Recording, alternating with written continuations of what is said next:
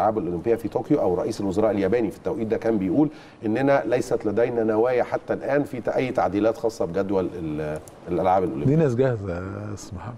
دي ناس جاهزة وعاملة كل حساباتها. بس هو دلوقتي الرياضيين نفسهم الأبطال. الأبطال نفسهم اللي هي- اللي تاهلوا لطوكيو عاملين أزمة. الاستعداد أصبح فيه مشكلة. التدريب أصبح فيه مشكلة. ففي حالة من القلق على كل واحد بيه كل مجموعة بتتكلم. يعني إيه خلاص أنت واقف كل حاجة واقفة ومش كله قلقان وكله عاوز يستعد ومش عارف. ففي النهارده انضمت زي إيه بدأت تبقى فيه رابطة في صوت يعني إيه فرنسا البرازيل الهند صربيا كرواتيا ها؟ وبتدخل معاهم لجان أولمبية تانية. بيتصاعد وبيرتفع الصوت تدريجيا نحو توماس باخ بإيه؟ بال بالتأجيل. ها؟ مطالبة رئيس اللجنة الأولمبية بالتأجيل بالتأجيل والضغط عليه رغم إن هو كان عامل اجتماع الأسبوع اللي فات آه على مستوى العالم كل اللجان آه يعني كانت مشاركة فيه. وحتى تبلغ بتاع اللجنه الاولمبيه المصرية بعديها خدت قرار إنه السماح للأبطال بالتدريب في في في المركز الأولمبي واستمرار ال- الاستعداد والبرنامج آه، يسير وفق يعني تجهيز كل شيء. لكن على ما يبدو إنه إيه في حالة من القلق بت- بتزيد. وفي حالة من الخوف عماله تزيد والاستعداد أصبح فيه في مشكلة ودي المشكلة الواضحة. شوف رغم كل الإنفاق وحجم الإنفاق الرهيب والاستعدادات اللي عملتها اليابان لإقامة الدوره الأولمبية واللي يقول لك طب نأجلها ست شهور طب اللي يقول لك نأجلها سنة وتبقى بعد كده الدوره الأولمبية الثانية في نفس ميعادها معلش نختصرها في ثلاث سنين عشان ده ظرف استثنائي. كل يعني الكل يطرح البدائل من أجل الحفاظ على الأرواح ومن أجل ما تنساش تجمع رياضي رهيب ضخم جدا. غير الجمهور.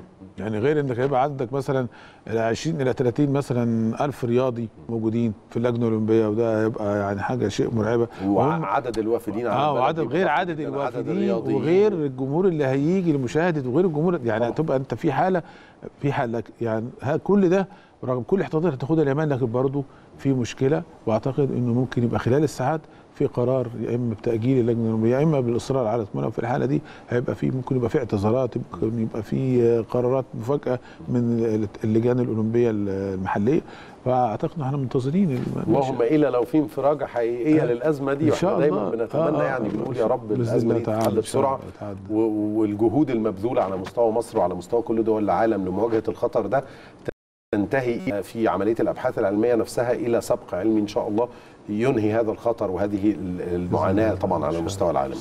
كريستيانو رونالدو يخضع لفحص كورونا. النجم الكبير كريست- كريستيانو رونالدو نقلا عن بعض الصحف البرتغالية. خضع شأن عدد كبير من اللاعبين بعد تأكد إصابة ثلاث أو وجود ثلاث حالات إيجابية بين لاعبي يوفنتوس. آه، كريستيانو ظهر التحليل الخاص به بأنه سلبي وأنه لم تتم إصابته بفيروس كورونا ولكن ثلاثة من نجوم الفريق منهم طبعا المهاجم الشهير باولو ديبالا. تأكدت إصابتهم بفيروس كورونا. قبل أيام قرر الاتحاد الأوروبي لكرة القدم تأجيل بطولة كأس أمم أوروبا يورو 2020 إلى العام المقبل بسبب انتشار آه، فيروس كورونا وخضع النجم البرتغالي كريستيانو وظهرت آه، نتيجة التحليل إنها سلبية.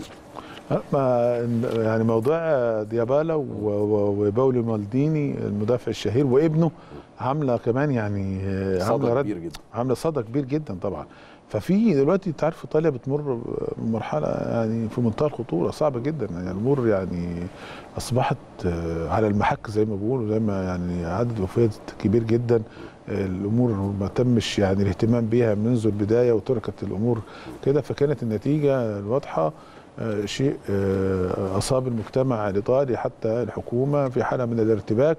فشوف أنت بقى الموقف عامل إيه يعني شوف أنت رونالدو من إمتى آه، مشي وتعرض لكم مره لعملية الفحص في كمان مع والدته اللي كانت مريضة في المستشفى وكلام إنه خد جزيرة وقعد فيها وكلام ال- الحدث لكن أعتقد لا يعني إيطاليا في أزمة حقيقية والكرة الاداريه هتبقى على المحك إنها ترجع طبعا هي أكبر أزمة في أوروبا دلوقتي في هي. إيطاليا لا وهو ايطاليا في العالم كله. آه لا إيطاليا في العالم كله هي دلوقتي وتضم عليها إسبانيا. يعني إيطاليا إسبانيا آه، يمكن بعد كده تدريجيا الحاجات بتظهر. يعني فرنسا مش عارف لكن إيطاليا الأمر يعني لأي بسرعة.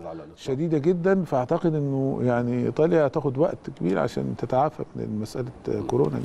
طيب عايزين آه، نتكلم شوية عن نجوم الفريق آه، التجديد لوليد وليد بالنسبة لوليد سليمان التجديد موسمين أحمد فتحي لسه في انتظار لجلسة التجديد شريف آه، إكرامي قرار الرحيل حسام عاشور ومستقبله بعد المسيرة الطويلة في الملاعب.